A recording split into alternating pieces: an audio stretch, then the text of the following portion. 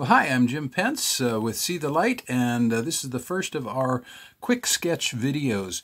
Uh, quick sketching is learning to get a feel for uh, just drawing something quickly without worrying too much about all of the details, because sometimes we fuss so much about uh, getting everything perfect that we never draw anything. That's one of my big problems, uh, is I'm a perfectionist, as a lot of artists are, and we want to, uh, you know, just get it just right, and so we, we never really draw much because uh, it's not perfect. So, so that's what uh, this little workshop is. Is uh, it's just a quick sketch to get us uh, started drawing something that we might develop into something else.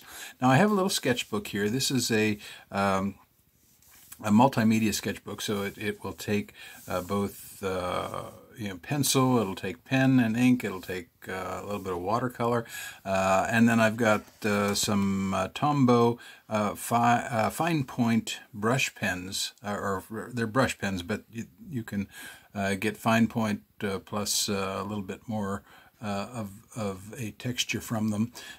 so that's all I'm using. Now, you might be wondering why I'm using this instead of like a, a pencil with an eraser, uh, because in this kind of quick sketching, uh, the last thing I want to do is to be able to erase and correct, uh, because uh, if I erase and correct, uh, then again I keep fussing with it and trying to get everything perfect. And the goal here is to just get something down on paper that will work from. So I'm just going to take one of these uh, pens and I'm going to uh, sketch the uh, stalk of the plant out, and I'm going to do it, you know, fairly quickly. Uh, and I'm not really worrying about getting the details right. I'm not worrying about uh, getting everything looking right. Uh, this is very similar to uh, when if you if you've seen some of my videos on contour, blind contour drawing. It's kind of like blind contour drawing, but um, there there aren't any restrictions in looking or not looking because with contour drawing or blind contour drawing, you're not supposed to look at your paper uh, ever. Uh, here, all I'm doing is just very loosely, you know, kind of observing. I'm seeing. I'm not worrying about too many of the details at this point. I just want to get a feel for the object that I'm drawing. And I'm going to just have fun. And that's you know that's the the biggest challenge. Again if you're particularly if you're you know really creative and artistic man we want to make everything perfect. Uh, we want it to look just right. And uh, and it takes so much time and we just never get around to having fun in the process. So i want you to just enjoy yourself. Have fun with this. Um, not trying to make a, a, finished work of art here. Okay so uh, and you will see this in the uh, the the photo that i'm drawing from uh, is you'll see a link to it that you can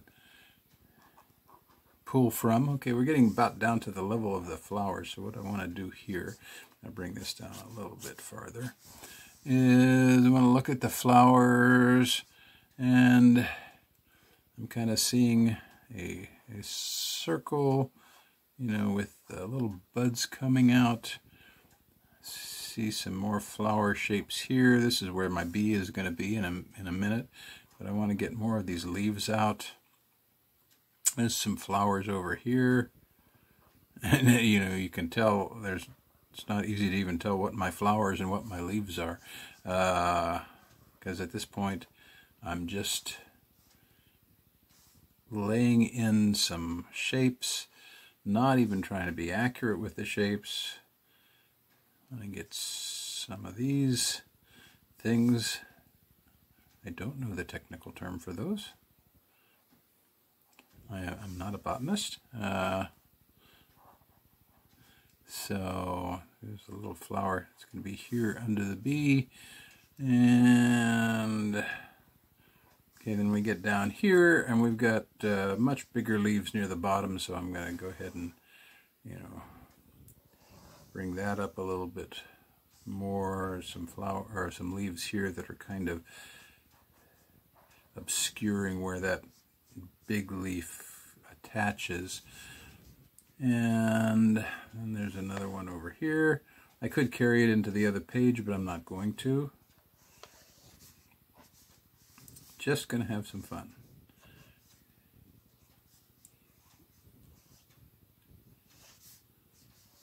Okay, so now we're going to look at the bee. Okay, the bee, here's this flower here, here's this flower up here. Bee's got its head right in. I'm going to be a little bit more careful with this because I wanted to at least look remotely close to a bee. Again, I'm still not going to try to make it just absolutely perfect, but I'm going to at least sketch the wings in.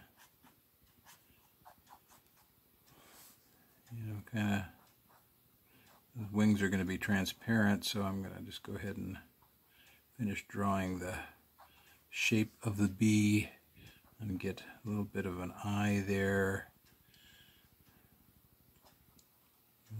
Another bit there.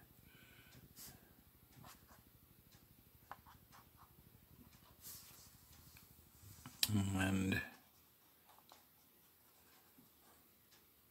okay, and he's got a leg kind of coming off right about here.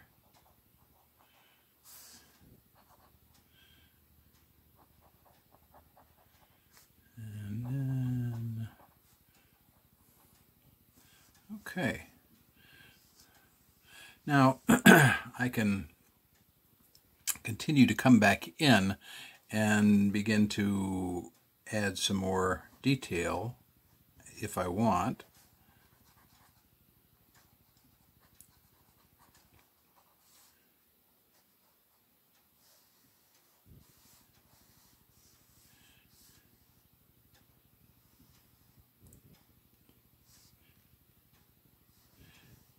Maybe get a few veins here.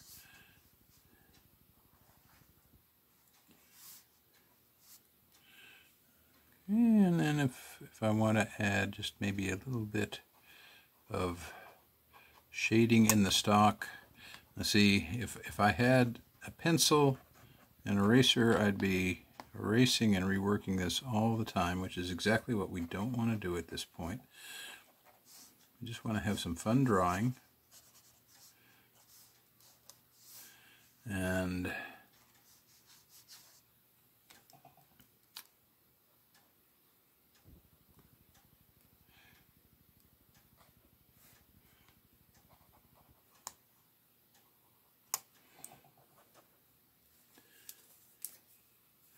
Now if I want to add a little color, I can use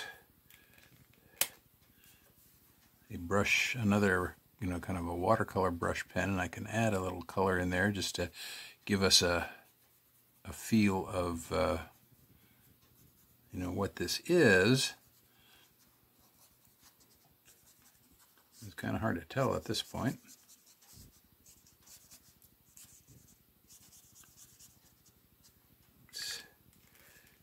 try a little darker green in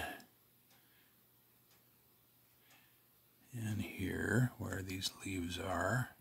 Notice some of them are kind of yellowish. And that's because we're near the end of the season and the plant is just kind of dying. And it's getting its last gasp in. And again, these uh, are just inexpensive watercolor brushes that you can find pretty much at any arts and crafts store. Don't spend a lot of money on them. Because the idea here is just to have some fun.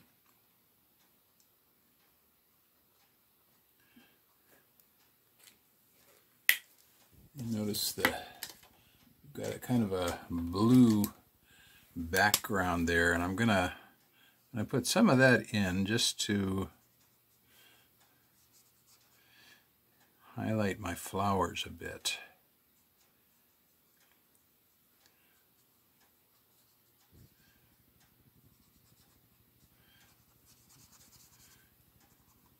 I want to get the feel of those at least.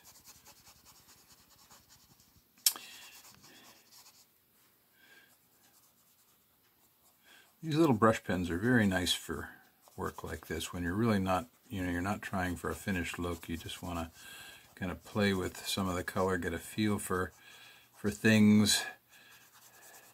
Because one of my uh, one of my weaknesses often is I want to go straight to a finished picture. I'm not uh, I'm not always patient, and I, I don't do studies. And this is really what this would be is more of a study. Uh, it's not a not intended to be a finished picture by any means, and it certainly looks that way, doesn't it? But it gets me drawing, and I have some fun with it,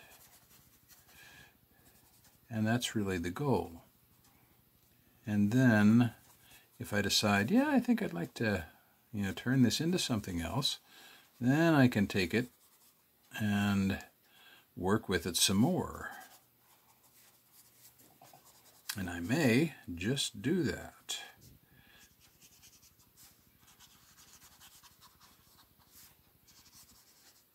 Okay, just a little bit more.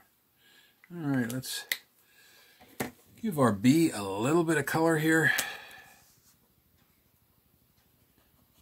Just so people can figure out, oh, that's a bee.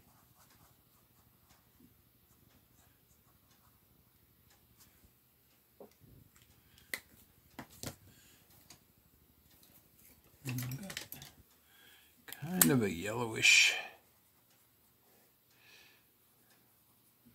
bright green there. Let's throw some of that in.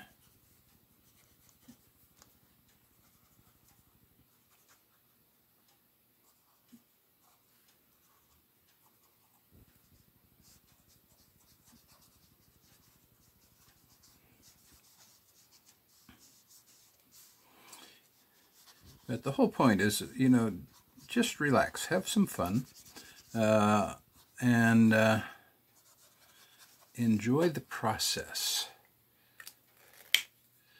I think I'm going to come back here.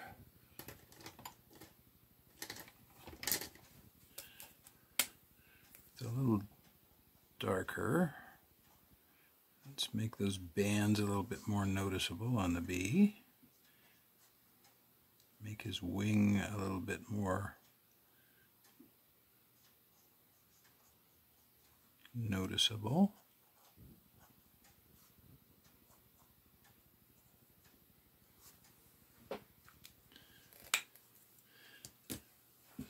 And then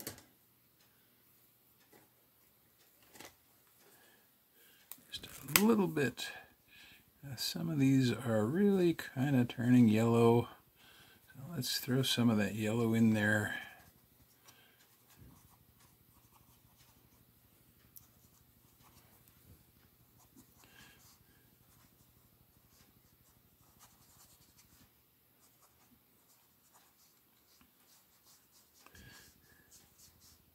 And you can play with this all day long.